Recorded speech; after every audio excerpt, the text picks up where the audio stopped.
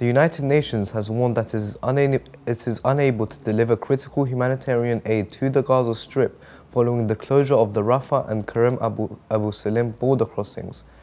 UN spokesperson Stephane Dujarric cited the latest report from the UN Office for the Coordination of Humanitarian Affairs, stating that we cannot bring in humanitarian assistance, cannot access nutrition supplies, we need to treat more than 3,000 children with acute malnutrition.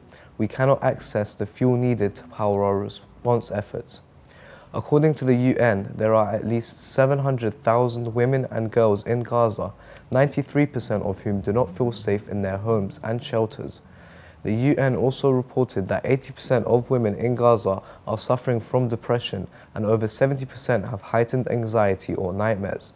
The ongoing genocide in Gaza has taken a devastating toll, with the health ministry in Gaza reporting nearly 34,800 Palestinian deaths since October. Israel is currently facing an international court case over allegations of genocide in the region.